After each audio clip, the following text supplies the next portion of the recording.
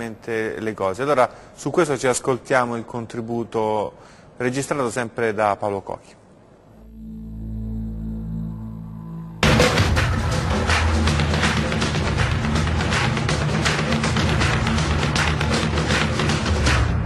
Certamente non mi sembrava un personaggio semplice, mm, mm, devo dire né a me né a Piero Vigna eh, con cui ho molto collaborato nella mia vita. Mm, la cosa che mi colpì di più fu naturalmente la lettera che eh, arrivò dopo l'omicidio di Nadine Moriot e del suo compagno.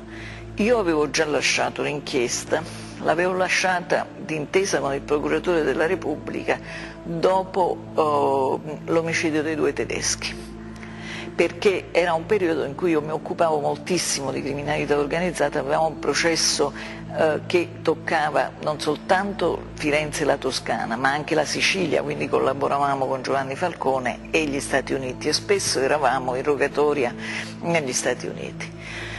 Eh, quando mm, mi arrivò la lettera, e beh, quella sembrò quasi un richiamo alle indagini che erano state da me lasciate, cosa che non poteva sfuggire naturalmente a chi, essendo interessato alle stesse come autore del fatto, voleva in qualche maniera rimettersi in attenzione. Fu un momento sfortunato per il cosiddetto mostro, perché eh, la lettera giunse... Mm, in un momento in cui ero assente, stranamente da Firenze.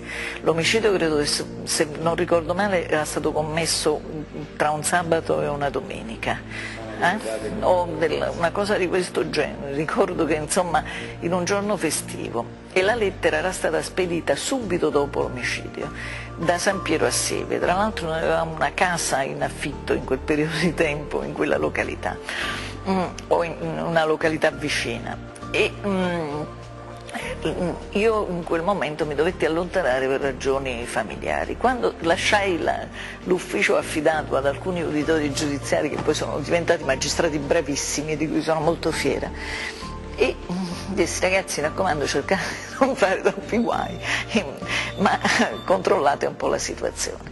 Loro si accorsero subito che questa lettera presentava qualcosa di strano. Quando io rientrai, e, e l'omicidio era stato ormai scoperto, quindi era fallito il piano di fare scoprire l'omicidio attraverso la lettera, me la consegnarono. Io ero convintissima che potesse accadere qualcosa di questo genere, tanto che ne avevo più volte detto a Piero Vigna, avevo detto guarda Piero, secondo me cercheranno di farci scoprire i cadaveri e noi di metterci ulteriormente in difficoltà e mi sembra che eh, chi opera si voglia prendere proprio beffe degli inquirenti.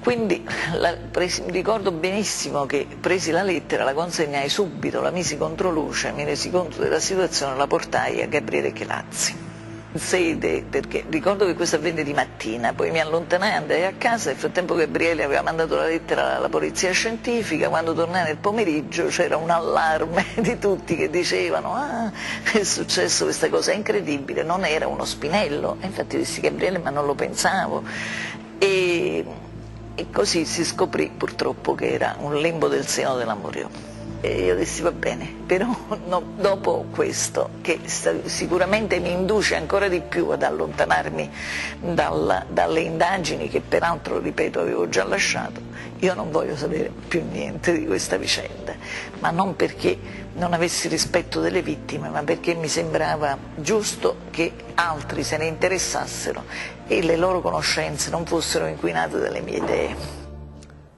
Coghi, insomma, un particolare inquietante una lettera recapitata, non una lettera come All'unica donna che si sia mai occupata delle indagini. All'unica eh? donna che si era mai occupata delle indagini, da cui era uscita, imbucata da una cassetta postale praticamente a due passi da dove quella donna, quel magistrato aveva anche una residenza. Ecco, questo è un elemento